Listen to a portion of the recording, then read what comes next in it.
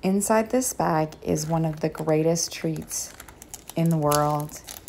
Let's hope it survived the transatlantic journey back from Scotland to Florida.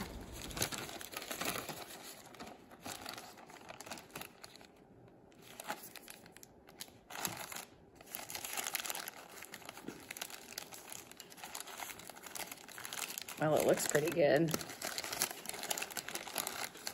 Held together. There's only like a little crack there.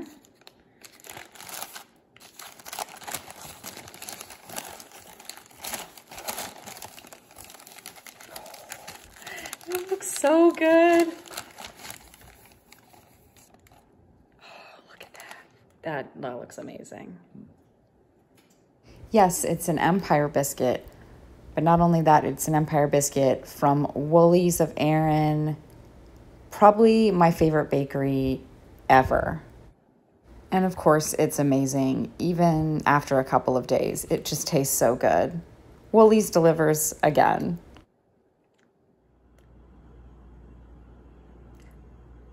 My correspondence also brought me my favorite jam. I love blackcurrant jam and we just do not get this here. So this tiny wee jar is probably one of the best presents I could ever get other than the Empire Biscuit.